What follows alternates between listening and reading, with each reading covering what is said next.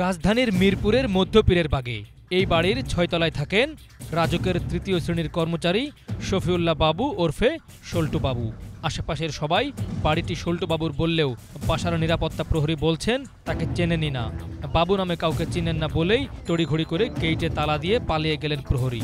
পরে জানা গেল সাংবাদিকদের বিষয়ে কড়াকড়ি থাকতে প্রহরীদের নির্দেশ দিয়েছেন সল্টু বাবু এখানে থাকেন না? না আমরা তো মনে করেন ওই রকম চিনি না কেটা থাকে কইতে পারব না। আপনি বাবুরেও চিনেন না? না কেউ চিনি না। স্থানীয়রা বলছেন এতিমখানায় বড় হলেও রাজুকে কর্মচারী হিসেবে যোগ দেওয়ার পর বদলে যায় তার জীবন।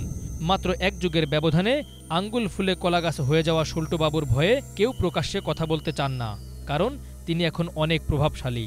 সঙ্গে রাখেন বডিগার্ডও। এই শফিউল্লাহ বাবুর শত কোটি টাকার মালিক বনে যাওয়ার বিষয়ে গত কয়েক বছর ধরে বিভিন্ন গণমাধ্যমে শিরোনাম হয়ে আসছে। কিন্তু তার বিরুদ্ধে ব্যবস্থা তো দূরের কথা উল্টো অফিস সহায়ক থেকে সম্প্রতি রেখাকার হিসেবে পদোন্নতি পেয়েছেন তিনি যেন রাজকি তার আশ্রয় প্রশ্রয়দাতা হ্যাঁ, এটা জানে সবাই। এলাকার সবাই জানে। সবাই জানে। আশেপাশে মানুষ যখন জানে না তখন কি মনে হয়?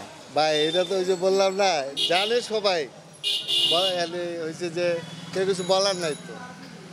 আপনি খোঁজ করেন আপনি পেয়ে যাবেন। ব্যবস্থা নেয় না বিষয়টা তো ব্যবস্থা কেউ দেন অনেক রকম কথা বলে। ওনারও এখানে শ্রম আছে শ্রম করছে শ্রম দিচ্ছে। তথ্য বলছে উনিশশো ছিয়ানব্বই সালে আওয়ামী লীগের প্রয়াত নেতা মোহাম্মদ নাসিমের মাধ্যমে রাজুকে মাস্টার রোলে চাকরি পান সিরাজগঞ্জের কাজীপুর থানাধীন সুভাগাসার শফিউল্লাহ বাবু। দুই হাজার এক সালে তার চাকরি চলে যায়। পরবর্তীতে আওয়ামী লীগ ক্ষমতায় আসলে আইনি লড়াই করে তার চাকরিতে স্থায়ী হন। এরপর আর পিছু ফিরতে হয়নি সল্টু বাবুকে একের পর এক সম্পদের পাহাড় গড়ে তোলেন। তার এই উত্থানকে অনেকে আলাদিনের চেরাক পাওয়ার সাথে তুলনা করেন। তার বিরুদ্ধে অভিযোগ রয়েছে, রাজুকের বিভিন্ন পর্যায়ের কর্মকর্তাদের স্বাক্ষর নকল করে নকশা জালিয়াতি করার।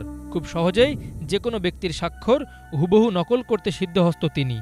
আর সে কারণে সহকর্মীরা তাকে আদর করে ডাকেন সল্টু বাবু নামে। বলা হয়, ঊর্ধ্বতন কর্মকর্তাদের সেল নাকি সঙ্গেই রাখেন বাবু।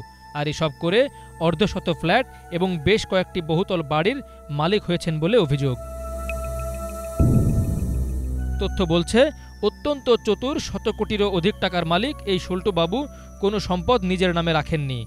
কিছু করেছেন প্রয়াত শ্বশুরের নামে, আর কিছু সাধারণ গৃহিণী স্ত্রীর নামে।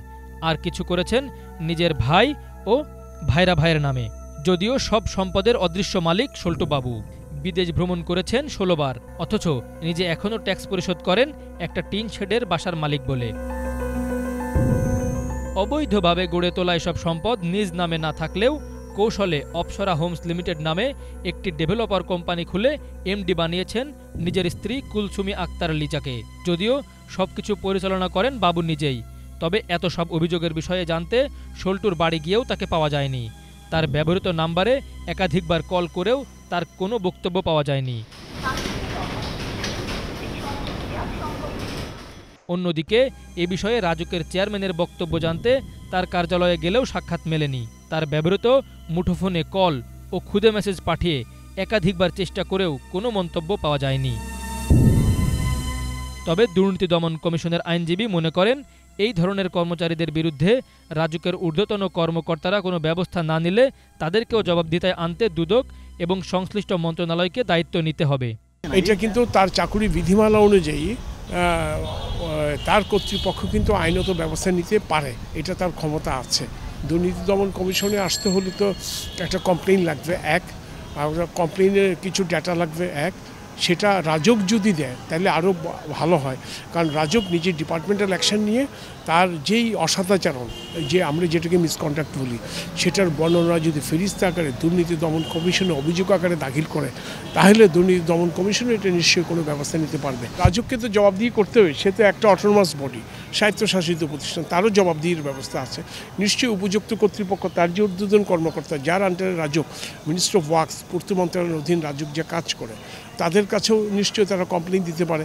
তারা যদি কমপ্লেন দেয় এবং কমপ্লেনই যদি সারবদ্ধ থাকে, তারা অবশ্যই রাজকের বিরুদ্ধে ব্যবস্থা নিতে পারবে, যারা চুপ করে আছে। কেবল এক শফিউল্লাহ বাবু নয়, রাজুকের অনেক কর্মকর্তা কর্মচারীদের বিরুদ্ধে আছে এমন অবৈধ সম্পদ অর্জনের অভিযোগ। কিন্তু দুর্নীতিবাজদের শাস্তির আওতায় আনার আগ্রহ নেই প্রতিষ্ঠানটির ঊর্ধ্বতন কর্তৃপক্ষের। Bangla vision news desk.